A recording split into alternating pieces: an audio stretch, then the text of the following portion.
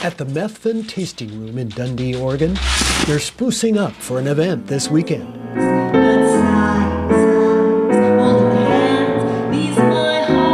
Wine tasting is not the only activity today. There's also Smooth Sounds, a preview of music that'll take center stage all weekend, virtually and here on site.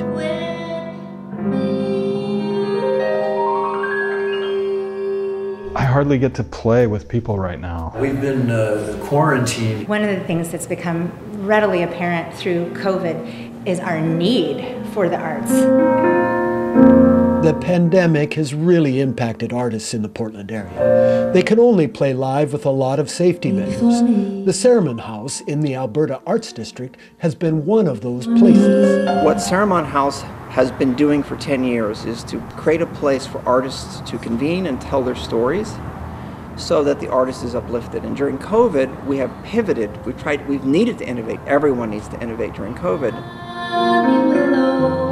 This Saturday and Sunday, local jazz musicians will perform and raise money for the Ceremon House. It's a chance to once again connect with an audience. A big jazz event that we're super excited about. Shanna Ellis books the performers at the winery.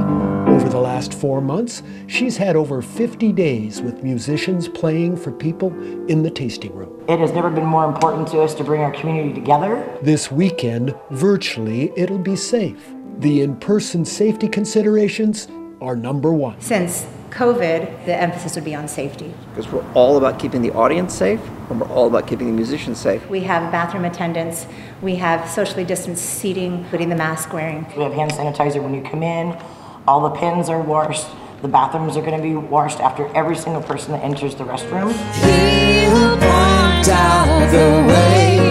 With performances from the likes of Shelley Rudolph with Tom Grant, Devin Phillips, and Mel Brown. Ultimately, the fundraiser for the Ceremon House will benefit the future of the arts and the musicians working to keep playing through this pandemic for all of us. We need it to heal, we need it to love, we need it to get through and endure.